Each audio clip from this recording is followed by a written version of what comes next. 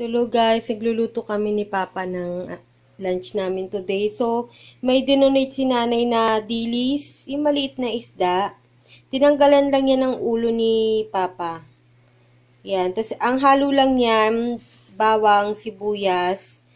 Tapos, mag-a-add lang kami ng paminta, pepper, saka aji ginisa flavor seasoning mix saka yung dalawang itlog. Saka wala kasi kaming flour kaya ang ilalagay na lang namin cornstarch na unti lang kasi pag sobrang daming cornstarch, baka sobrang tigis na niya, ang hirap ng kainin.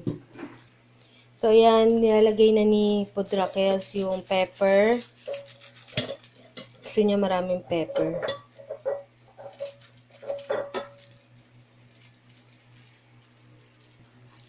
So, ayan, dinudurog-durog niya na yung isa. Dapat ilagay niya muna yung mga powder bago i-mix lahat eh. Ano ako dun sa ano, stay. Tapos para sa aming pampalasa, yan na yung aji ginisa. Para hindi na Wala masyadong... betchin to? Wala eh, may betchin na yung aji ginisa na yan eh. Sakto na yung isang sachet dyan. Tapos, onti na itong cornstarch pa. Ah, nal- halo na rin. Oo, oh, ihalo na yung cornstarch. Konti Unti lang. Parang pampalapot lang yan. Dapat kasi flour yan eh, kaya lang wala na yung ano. Wala na kaming flour expired na eh. Unti lang. Matigas yan eh. Na-try natin yan dati sa kwek-kwek. Hmm. Tingnan muna natin ito kung hindi siya Ayan. Tapos egg na. Magluluto rin kami guys ng ano, ginisang ampalaya. Eh, wala na palang asin to. Hindi na kasi maalat na yan. Pwede ka magdagdag ng onting asin kasi baka matabang. Pero onti lang. Okay.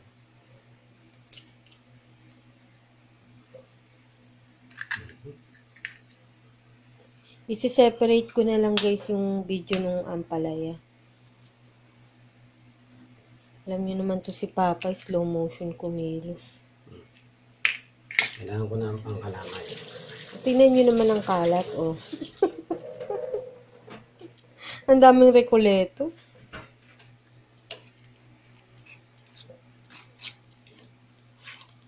Yan. Tapos pagka feeling mo kulang pa ng pampa, ano, kasi pang bind to eh, yung powder, magdagdag ka pa ng unting cornstarch.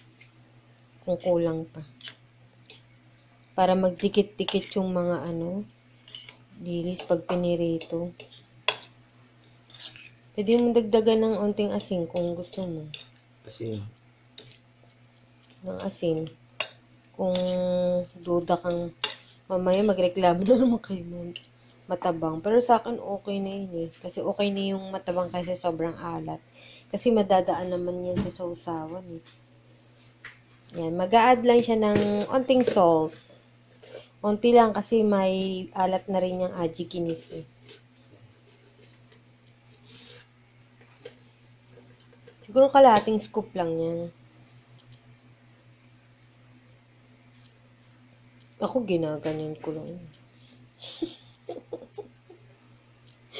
okay na. Tsaka Yan. konting flour. Parang dagdagan mo ng onting cornstarch kasi parang onti lang. Ako na nga at ang bagal mo. mo. Huwag masyado madami. Yung kalat mo lang. Op, okay Oh. na. Okay na.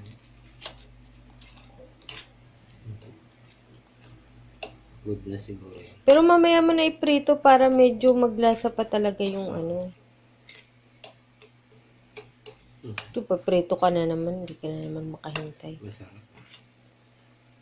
Pero sigurado kayo stapler hindi nasama. Hindi, nakita ko yung stapler. Delikado. ano ka ba? Say, don't say bad words.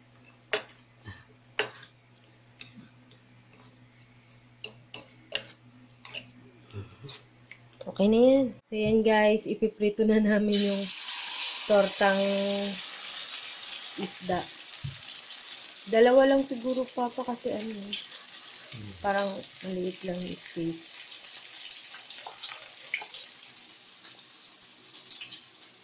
Saka wag masyadong makapal papa, hindi masyadong magiging crispy. Wag masyadong makapal.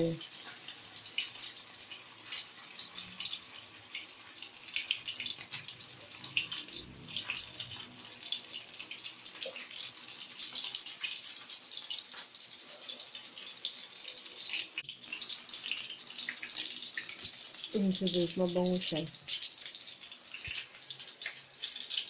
Hindi naman mapakali sa food guys. Pag yan talaga nagluluto, hindi mapakali. Gusto babaliktad agad.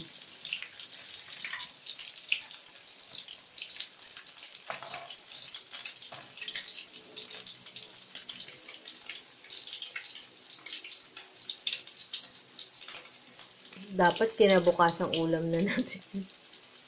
Para tipid. Yung matitira niyan, initin Ah, natin sa rep. siguro ma na. Parang toasted na. Pwede nang i-flip. Hmm, toasted na nga. Oh. Sus, Maria Chef.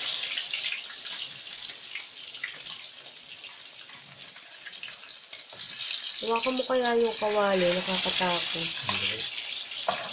Silver na. So, ito na guys, yung finished product, yung aming tortang, ano yung dilis? Tortang dilis. Tapos, share ko lang sa inyo guys kung anong sausawa namin itong Dato Puti Pinoy Style Spice Tuna Vinegar. Ayan. Meron itong mga chili-chili din eh. Ayan. Yan? Dato puti. Ayan. Ayan siya guys. ah, Masarap siya guys. Hindi lang siya mukhang yummy sa ano, video ah, pero masarap siya.